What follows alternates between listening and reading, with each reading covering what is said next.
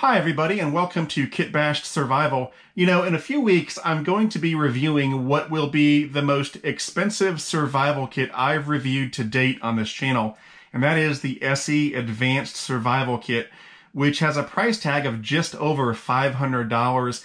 It's a very high quality, well-equipped kit, but of course, not everybody can afford to spend $500 on a survival kit, and obviously you don't have to spend that much to have a well-equipped survival kit. And so in between now and then, I thought I would do something that a lot of you guys have been asking for anyway, and that is to review some cheap entry-level survival kits. And I can think of no better way to kick that off than by reviewing a couple of sardine can survival kits. So that's exactly what we're going to do today on Kitbashed Survival. Now, of course, anytime you review a cheap entry-level survival kit, lots of people are going to jump right in and start bad-mouthing the kit and saying, ah, oh, that's junk, it's worthless, why would you waste your money on that? I would never get that in a million years. And to be sure, some cheap survival kits are junk. But in general, my policy is that I don't instantly hate an entry-level cheap survival kit. And I feel that way for two reasons. Number one, you know, in the survival knife community, there's an old saying that says the best survival knife is the one you have on you. And I think that can be extended to survival kits as well. And while I would not recommend you staking your survival on an entry-level kit like this, and I certainly wouldn't take a kit like this by itself out into the field, I will say that any survival kit, even something like one of these, is better than nothing. And given a choice between nothing and one of these, I'll take these any day. Number two, which is kind of an extension of number one, is that a cheap off-the-shelf kit does not have to stay that way. It can serve as the jumping off point to making a really good kit. And that's often what I do on this channel. That's why the channel is called Kit Bashed Survival. Kit bashing is a term used in the modeling world. I do model railroading, and when you kit bash something, you take components of various modeling kits and you combine them to make a unique structure. And that's what I like to do on this channel sometimes, is I'll take an off-the-shelf survival kit and I take it apart and repack it and add more components and make a much better kit. And that's what you can do with something like this. You buy a cheap off-the-shelf kit, you open it up, you repack it, you add components, and in the end, what started off as a cheap off-the-shelf kit ends up being a very high quality kit that you have a lot of confidence in. Anyway, what I've got here is two sardine can survival kits, one made by Coghlan's and one made by Whistle Creek. We're going to open up both of these and do a side-by-side -side comparison and see which one is the better of the two. And then after that, we're going to take one or both of these and repack them into a much better survival kit. So let's start off with the Coghlan Survival Kit in a Can. Contains 32 items for signaling and creating warmth and shelter. And then on the back, the following 32 survival products along with training and common sense can save your life. Factory sealed, this can assures both the usability and the completeness of the list of contents. After the can is opened, it can be used as a cup, cooking pot, or baler. And they've got a list of the contents here. You can pause and read that list if you want. And what's interesting is down here, They've got a guide to where each item is made. So it's a mixture of items made in China, Japan, Canada, the US, Mexico, Thailand, Great Britain, and Malaysia. Coghlan's is a Canadian company. All right.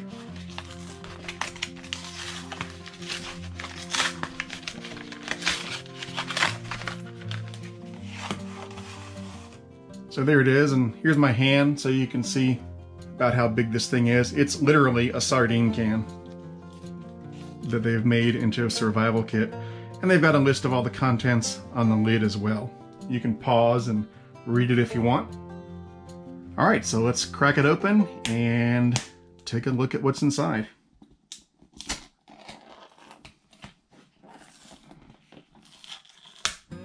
Okay, so first up,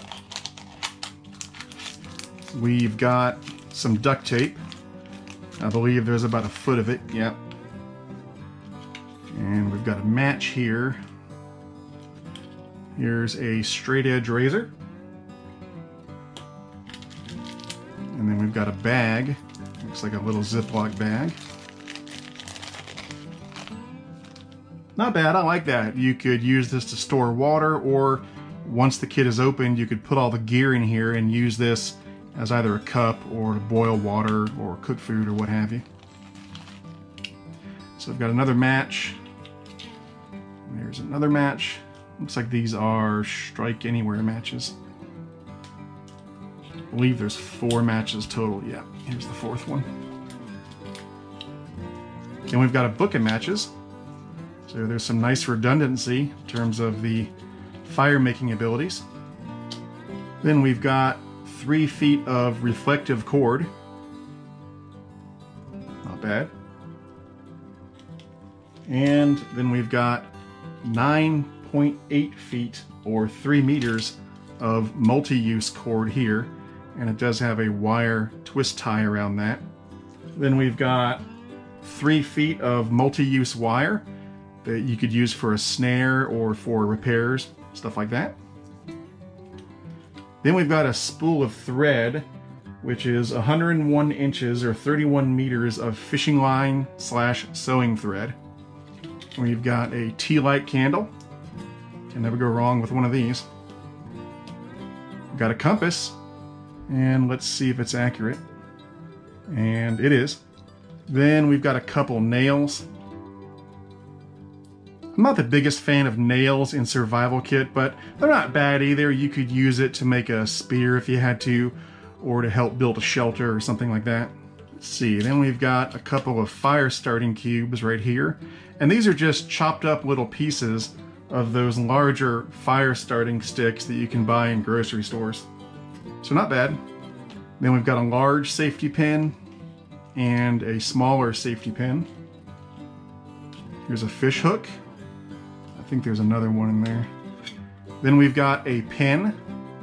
It's got a little clip on the end of it.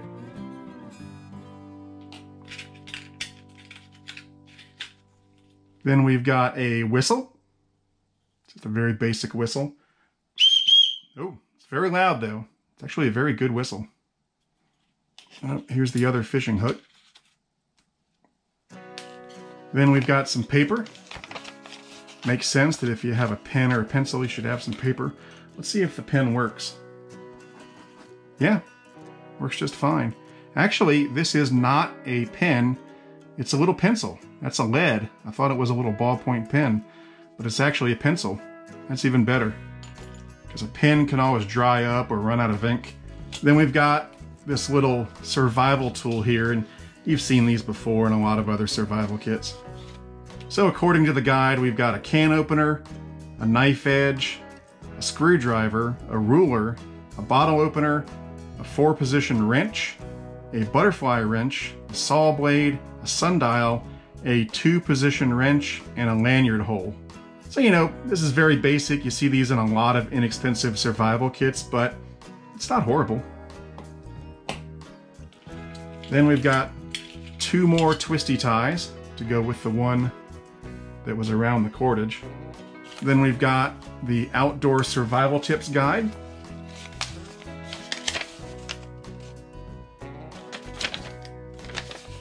It's got the same basic information that you see on a lot of these guides that you find in survival kits. And then we've got our signal mirror. Very basic, very cheap. You know, it's basically a piece of paper with a reflective coat on one side and you can peel off the back and stick it on something if you have to. But, you know, it's better than nothing. And then lastly, we've got the tin itself, which again, you could use this to boil water or cook food or use it as a cup or what have you.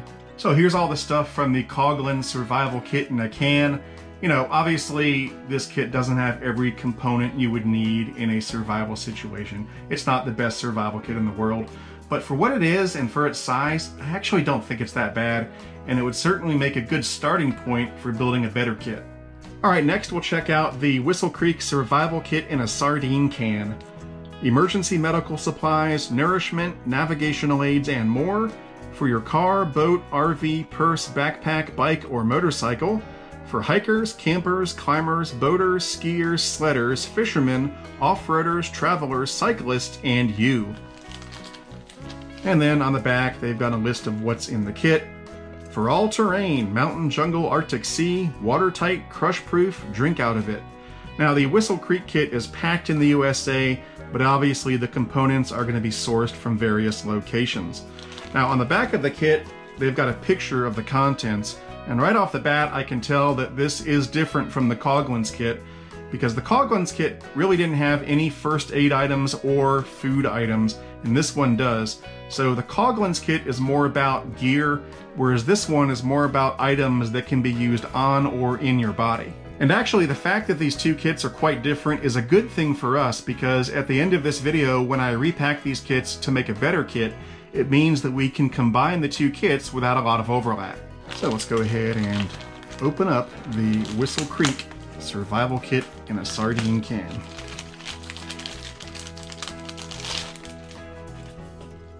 There it is. You can pause that and read it if you want. And there's the back.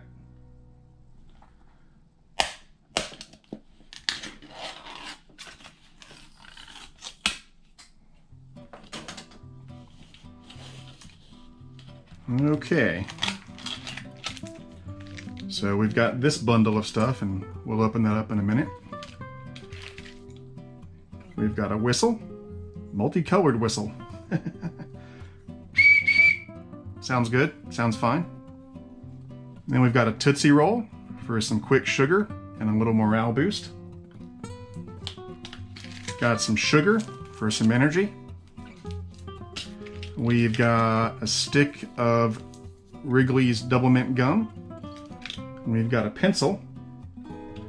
We've got a fire starter cube, like the one in the other kit, but this time it's just one instead of two. We've got a spool of thread for fishing line or sewing. Then we've got a straight edge razor. We've got a tiny, tiny little compass. Let's see if it works. Yeah, it does work. It is accurate. Boy, that's about the smallest little button compass I've seen. Then we've got a single band-aid. And then we've got a safety pin and a single fishing hook.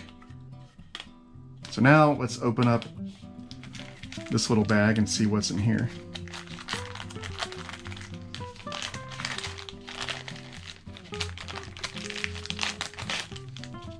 All right, so we've got some Lipton tea, and you could use the sugar in the tea if you wanted to. And the tea is just a good morale boost and it can warm me up inside. It's always a good thing to have. And we've got a book of matches. We've got some salt. Not a bad thing to have. Actually, I got some medication. We've got some acetaminophen, two 325 milligram tablets. Acetaminophen is Tylenol, in case you don't know. Then we've got some Bacitracin ointment. Not bad. We've got an alcohol swab. Then we've got just a little bit of duct tape. The other kit had a foot of duct tape. This is maybe three or four inches. Then we've got a paper clip. And then we've got the directions and instructions. They're very brief. It's just that and that. So they've got a list of the items in the kit, a couple tips. They've got some tips for water purification the ingredients of the gum. I'm not sure why that matters. And then on the other side, they've got some first aid tips, and that's it. So here's all the stuff laid out from the Whistle Creek kit. If I had to choose between these two kits, I would likely choose the Coghlan's kit just because it has a little more equipment. But the Whistle Creek kit does have the edge in terms of nourishment, morale boost, and first aid equipment. So it'll actually be nice to combine these two kits and that way we'll have a little bit of everything. So I've got the Coghlan's kit over here and the Whistle Creek kit over on this side. And I'm going to combine both kits, which means I'm going to remove some items that are redundant. So let's see, we can keep the instructions from the Coghlan's kit and we'll remove those from the Whistle Creek side. I'm going to remove both of the straight edge razors for reasons that'll be obvious in just a moment. I'm going to keep the pencil from the Whistle Creek side because this is a full-fledged pencil, whereas this one is just a piece of lead in a piece of plastic. So this will last longer. And I'm gonna remove this multi-tool thing, again, for reasons that'll be obvious in just a moment. We'll keep the tea light candle, if possible. I'll keep a book of matches, and I'll remove one of them. I'm gonna remove both whistles, because those will be replaced by something else in just a minute. We'll keep the snare wire. We'll keep the signal mirror piece. We'll keep the duct tape from the Coghlan side, and we might as well keep the duct tape from this side as well, because it's just a little bit. I'm going to keep all the first aid items from the Whistle Creek side, as well as this bag, probably. And we'll keep the tea, and the sugar, and the salt, and I guess we'll keep the gum if we can, and we'll keep the Tootsie Roll if possible. I'm going to keep one of these spools of thread. I think I'll keep the one from the Coghlan side. I'll keep one or two pieces of fire starting material. We'll keep both compasses because why not? This one's really small and two compasses are always better than one. We'll keep the sewing needle from this side and we'll keep a safety pin. I'm going to get rid of two of these safety pins. We'll keep the four matches if we can and the two nails if possible. We'll keep the twisty ties. We'll keep all three fishing hooks. I might add some fishing weights if we have room. And we'll keep a paper clip. We'll keep the paper. I might keep this Ziploc bag, we'll see, or I might replace it with another Ziploc bag or multiple Ziploc bags to compartmentalize stuff. I'm to keep the 3 meters of reflective paracord, and this cordage here, I'm to remove it and replace it with something better. So this is what we're keeping from the two kits, and now we're to add some stuff. So on the water purification side of things, I'm to add a Melitta coffee filter. I'm going to add four water purification tablets that purify one liter per tablet. And I'll add a one liter Whirl-Pak stand-up water bag.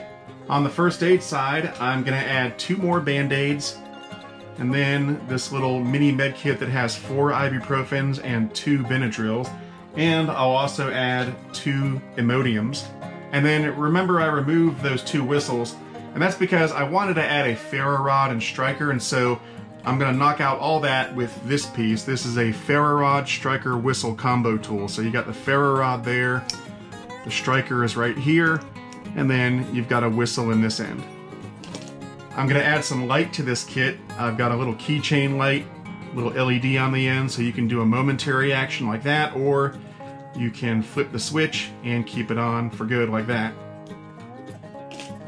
I'm going to add a real knife to this kit. This is a Victorinox Classic with the Stay Glow scales that glow in the dark. And of course the Classic has the scissors, the knife, the nail file, the flathead screwdriver, the tweezers, and the toothpick. To replace that cordage that I removed a moment ago, I'm going to add about 4 meters of this neon green micro cord. It's a 100 pound test. I'd like to add this nicer paracord to replace this stuff, but I don't know if there'll be room in the kit. If there is, I'll do it. If not, we'll just keep that. On the fire side, I'm going to add a piece of fat wood to help build a fire, as well as a little piece of cotton tinder. If we have room, I'd like to keep these fire cubes, but we'll see how it goes. I'd like to add this 12 by 12 sheet of tin foil, a wire saw if there's room, and then finally, I'd really like to add this space blanket so that there's a shelter element in this kit, but I don't know if there'll be room. All right, so we've got all the stuff that we want to put in the kit, so now we have to decide what we want to repack the kit into. Now, it'd be really easy to go with something like this. This is a large waterproof tin made by Best Glide ASE, and I've already used one of these on my channel in another video to make a really cool kit. And if we repacked all this stuff into this tin, there'd be a lot of room left over and we could add a lot more stuff and sort of throw in the kitchen sink and make a really kick-ass kit. But I'd rather try to keep this as a compact kit if possible. So I'm going to go with this tin. I got this on Amazon a while back. It's a locking tin, kind of like the Best Glide ASE tin. And it also has a waterproof seal on it. But it's a little bit smaller. It's almost pocket size. So I'm gonna try to get all this stuff into here. Obviously with this tin, I'll have to strap the space blanket onto the bottom, but we'll see if it works. And if not, we can always upgrade to the larger tin. And then in that case, we'll be able to add a whole lot more stuff to the kit. So let's see what happens.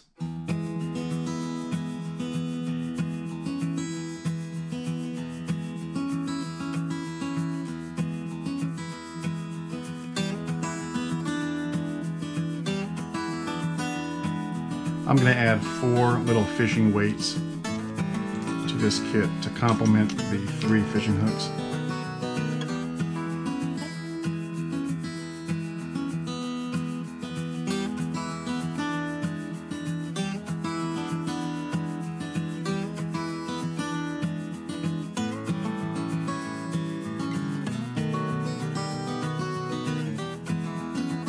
All right, I've got everything in the kit except for the space blanket.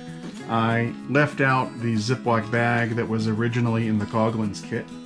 So now we just need to secure the space blanket to the kit. So I'll do that with some rubber bands because at the moment I'm out of large Ranger bands.